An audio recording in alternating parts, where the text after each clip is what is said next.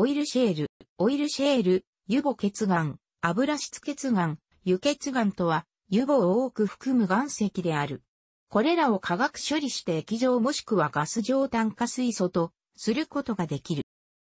結岩、シェール以外にも油母を含む岩石があり、これもオイルシェールに含める場合がある。また、油母は多くの場合複雑な有機化合物であり、固体状であるので、これを液状や気体に変えるには工業的な処理が必要である。そのため、オイルシェール、油分を含む結岩、シェールガス、結岩由来ガスという用語は指す範囲が広く、この語を扱う場合には、それが何を指しているのか、十分に注意する必要がある。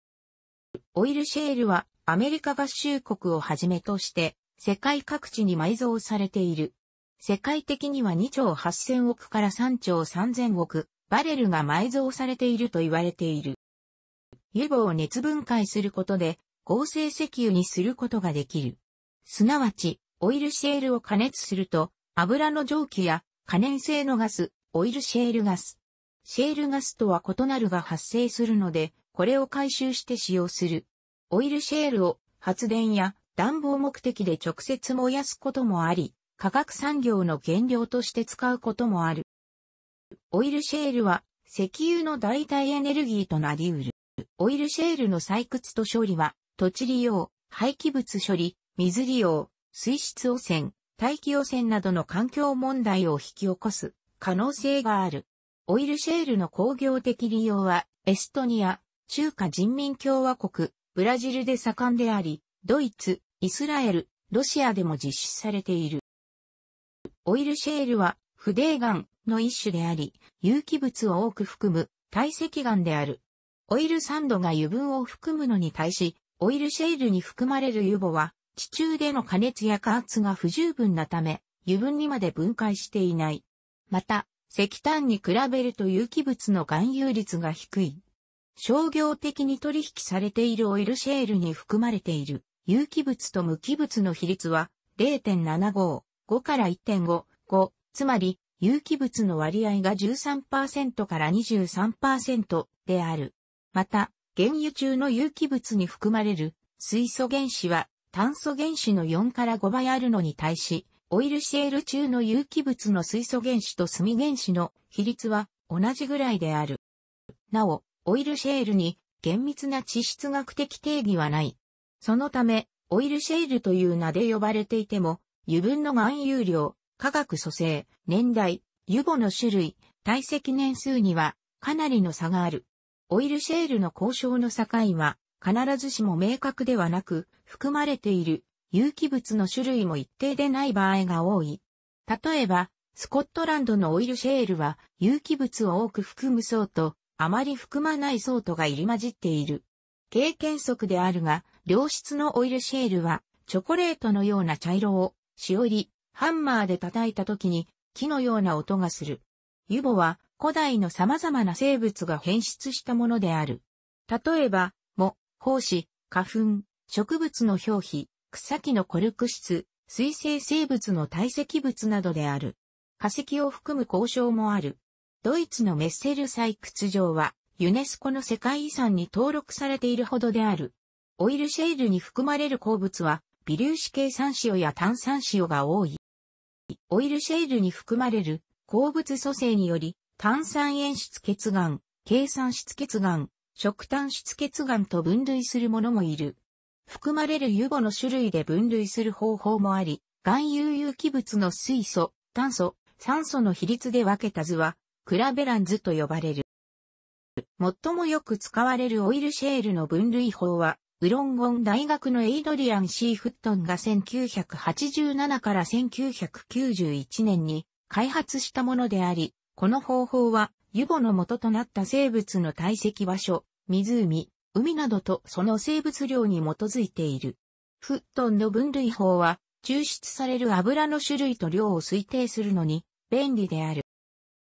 オイルシェールに含まれる有機物は淡水湖の藻類が多いとされている。そのため、油田地帯よりも単田地帯に多く産する。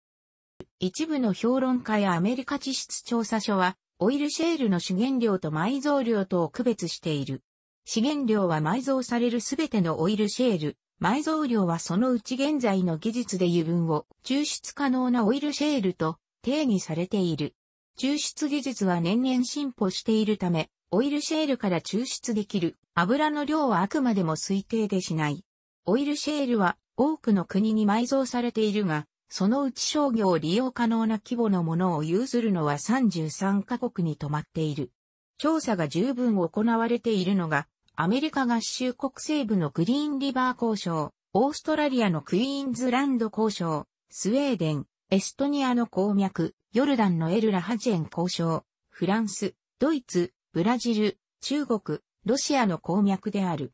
これらの交渉から得られるオイルシェール1トンにつき40リットルのシェール油が取れると予想されている。2005年の全世界のオイルシェールの推定埋蔵量は2兆8000億から3兆3000億バレル 520km である。これは2007年1月1日現在と言われている原油埋蔵量を上回る。世界最大の埋蔵量を誇るのはアメリカ合衆国のコロラド、ユタ、ワイオミングにわたって存在するグリーンリバー層である。この地域の約70%は合衆国政府の所有、または管理の土地である。アメリカ合衆国内の埋蔵量は世界の62%に相当し、これにロシアとブラジルを加えると86%に達する。ただしこれは暫定値であり、まだ発見されていない。あるいは十分に調査されていないオイルシェールの交渉が存在する可能性もある。人類は戦死時代からオイルシェールをそのまま燃やせる燃料として使用してきた。また、鉄器時代のイギリスではオイルシェールを研磨して装飾具としても使用していた。近代になっての利用は1837年フランスのオータンで始まり、それに続いてスコットランド、ドイツなどの数カ国でも行われた。19世紀には、もっぱらケロシン、灯油、ランプオイル、ろうそくの生産に使われた。その時代背景として、産業革命により照明の需要が上がっていたことが挙げられる。それ以外に、燃料、潤滑油、硫酸アンモニウムの原料にもなった。オイルシェールは手軽に使えることもあって、第一次世界大戦前には大いに利用されたが、その後は自動車の大量生産に伴ってガソリンに移行していった。中国の武順には石炭層の上に大量にあり、満鉄時代に利用され、今でも継続して利用されている。第二次世界大戦後にもエストニアと中国ではオイルシェールの利用が続けられた。しかし、オイルシェールの処理費用が高く、石油が安く入手できることから、大半の国では利用を断念した。1973年の第一次オイルショックの際に、オイルシェールの生産量は4600万トンのピークに達するが、1980年代以降は石油との競合により減少し、2000年の生産量は1600万トンに止まった。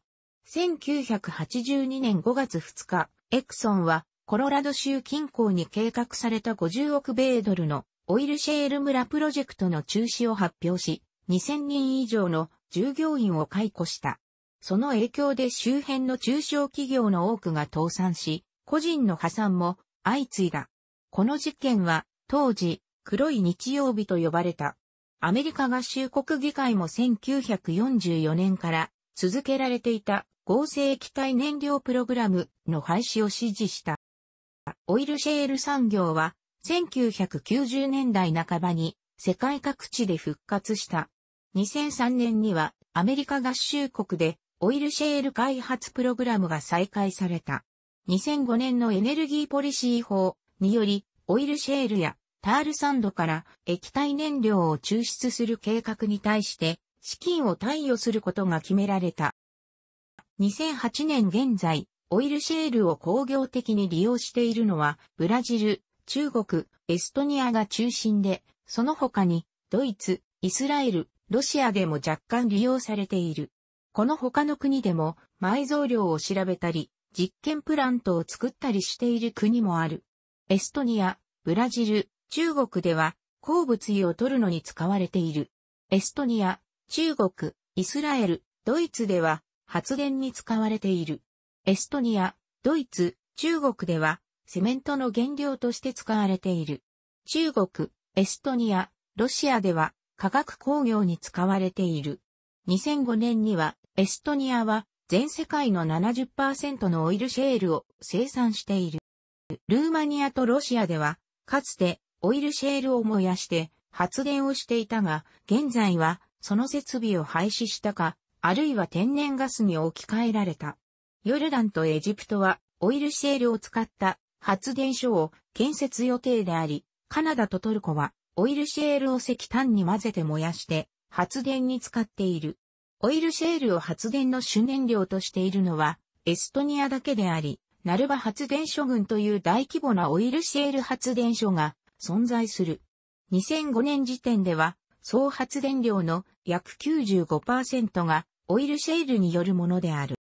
オイルシェールを活用するには、多くの場合、採掘、輸送の後、燃やして発電に使うか、もっと複雑な処理を施して使用する。最もよく使われる採掘法は露天掘りであり、中でもオープンピット採掘法やストリップ採掘法を使うことが多い。この方法は埋蔵位置が地表近く、強度を取り除けば採掘できるような交渉で有用である。また、地下採掘する場合にはが使われることが多い。オイルシェールは地表近くにあるものの方が有用であることが多いが、新しい技術を使えばそれよりも地下に埋まっているものも活用することができる。いずれの層のオイルシェールも、含有する油母を熱分解して、合成原油とオイルシェールガスに変成させる。現在行われているほとんどの方法では、酸素がない条件で摂氏450度から摂氏500度に加熱してガス、液状油、固体残量物に分解させる。分解そのものは摂氏300度以上で始まるが、実用的な速度となるにはもう少し高温である必要がある。交渉で採掘しながらオイルシェールを加熱することも多い。こうすることでより深くに埋蔵されているオイルシェールを採掘できるので油の採取量も多くなる。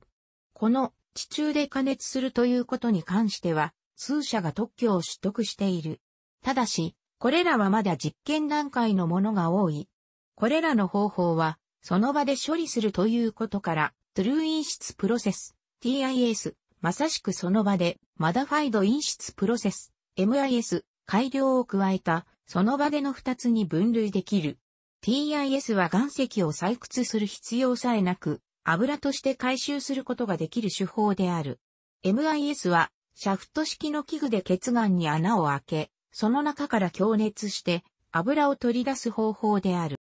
オイルシェールから油を抽出する方法について何百もの特許が出願されている。しかし、実際に試されたのはそのうち20から30だけである。さらに、2006年に小利用されているのは4つだけである。キビター、グローター、フシュン、ペトリシックスである。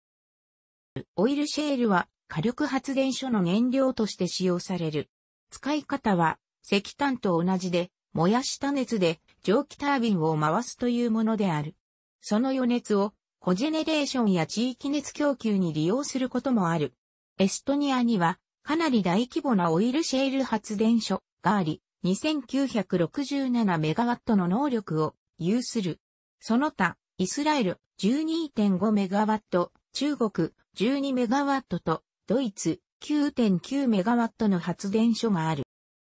燃料以外にオイルシェールは特殊な炭素繊維、活性炭、カーボンブラック、フェノール類、樹脂、接着剤、タンニン、ニス、アスファルト、セメント、レンガ、建築、装飾ブロック、土壌解質剤、肥料、ロックウール断熱材、ガラス工業、製薬にも使われる。ただし、これらの用途に使われるオイルシェールの量はわずかである。さらには副産物として、硫黄、アンモニア、アルミナ、炭酸ナトリウム、ウラン、炭酸水素ナトリウムが得られる。1946から1952年、エストニアのシッテ前の陸とような魔血岩がウランの製造に使われた。また、1950から1989年、スウェーデンの明板結岩が同じ目的に使われた。また、天然ガスの代わりとしても期待されているが、2008年現在では、オイルシェールガスを採算が合うように作ることは不可能である。オイルシェールから得られた油、シェール油が原油の代わりとして何にでも使えるというわけではない。シェール油はオレフィンを多く含み、粘度が高く、酸素原子、窒素原子の含有率が高い。シェール油に含まれる硫黄は9.5重量パーセントであるのに対し、テキサス産の原油、ウェスト、テキサスインターミディエート含まれる硫黄は0.42%に過ぎない。油に含まれる不純物が多いため、生成しなければ使えない。シェール油にはガソリンとして使える成分が少なく、中間止め分であるケロシン、ジェット燃料、ディーゼル燃料などが取れるだけである。もっとも、近年はこれら中間止め分に対する世界的な需要も増している。20世紀前半、原油の工業への利用が発展した。以後、オイルシェールの利用は、その産地など、原油等と比べて費用が安く済む場合に限られていた。アメリカのシンクタンク、ランド研究所の調査によると、2005年のシェール油、1バレルの製造コストは、採掘、上流、生成を含めて70から95米ドル、440から600ドルマイメートルの間にある。この値は、油母の品質や抽出率でも変わる。事業で採算が取れるようにするには、原油価格がこれよりも上がる必要がある。製造工程を一貫化することで、製造コストが原油価格を下回るという予想もある。この予想によると、生産量が5億バレル、70-90メートルを超えた時点で生産コストは35から70%削減するとされている。生産量が1日2万5000バレル、4.010メートル、D ずつ、毎年増えていったら、12年以内に1バレルあたり35ドル48にまで価格が下がるとそうされている。さらに10億バレル、4.010メートル、D を超えると、1バレルあたり30-40ドルにまで価格が下がる。アメリカのオイルシェール産業をオイルサンド産業と比較すると、アルバータタールサンドが2007年後半には1日100万バレル以上の原油を産出したのに対し、アメリカでオイルシェール産業を始めるには、技術的にも経済的にも難しいと説明されている。ロイヤルダッチシェルは、コロラドにおいて、地中でシェール油を抽出する技術によって1バレル30ドル、190ドルマイメートルを達成し、さらに一貫生産に切り替えれば1バレルが20ドルを割り込むと発表している。オイルシェールを効果的に利用するため、いくつかの強熱分解、高パイロラスス、いくつかの成分を混ぜて熱分解させるプロセスが提案され、テストされている。一部の評論家は、シェール油の生産に必要なコストは、石炭の液化よりも高くつき、環境への影響もより大きいと主張している。1972年、雑誌ペトロルインファーメーションスは、オイルシェール1トンから取れるシェール油がわずか150リットルであるのに対し、1トンの石炭から取れる油は650リットル出ることに注意せよ、と解説している。エネルギー源としてのオイルシェールを利用するための分岐点は、シェール油を採取するのに必要なエネルギーと採取されたシェール油から得られるエネルギーの比率にある。その比率は LOA、エネルギー、リッター、オンエネルギーインベステッド、エネルギー回収率1を下回るとエネルギー的にも損になるとして知られている。1984年の研究は各地のオイルシェールについて0.7から13.3であると推定している。ロイヤルダッチシェルはオイルシェールを地中で処理するプロジェクトで LA が3から4になると報告している。付け加えると、オイルシェール工業においては大量の水を消費する。水不足の新たな原因となる可能性も考えられる。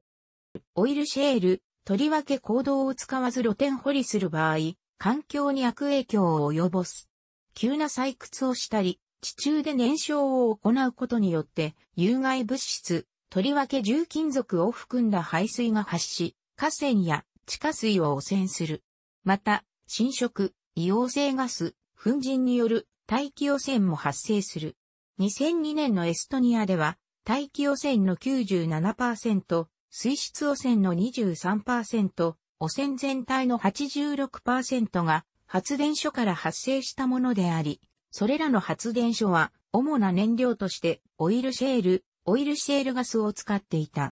有害物質を含んだ排水は地中深い油性に破棄されている。地質学上、地質断層に液体を注入すれば巨大な岩の塊の潤滑剤となり、岩塊同士のズレを引き起こすとされている。そこで地震の被災者から掘削事業者が訴えられるケースが出ている。出展のケースは、オクラホマ州だが、州最高裁で係争中。他に、アーカンソー州では、BHP ビリトンとが2013年にご家族の訴えに対し非公開の賠償支払額で和解している。なお、アーカンソーとオハイオ州では、州内の一部地区について廃液注入を予している。オイルシェール、オイルシェールガス工業は採掘地域の生態系にも悪影響を与える。まず燃焼と加熱で有害物質が発生する。さらに温室効果ガスも大量に発生する。その発生量は他の化石燃料よりも多い。一部マスコミは二酸化炭素の排出量が25%少ないと報道しているが、質量比較ではなく、単位熱量で換算すると、石油や天然ガスより多い。そのため多くの科学者が、オイルシェール、オイルシェールガスの採掘と利用に反対している。アメリカ合衆国で2007年に制定されたエネルギー自給安全保障法による環境影響評価書によると露天掘りで1トンのオイルシェールを処理するのに8から38リットルほどの水が消費されると述べている。地中で処理する方法を使う場合には、その10分の1が必要と予想されている。水不足の土地に限って、オイルシェール産業を拡大する計画が持ち上がっている。例えば、アメリカ西部、あるいは、イスラエルのネゲブ砂漠などである。楽しくご覧になりましたら、購読と良いです。クリックしてください。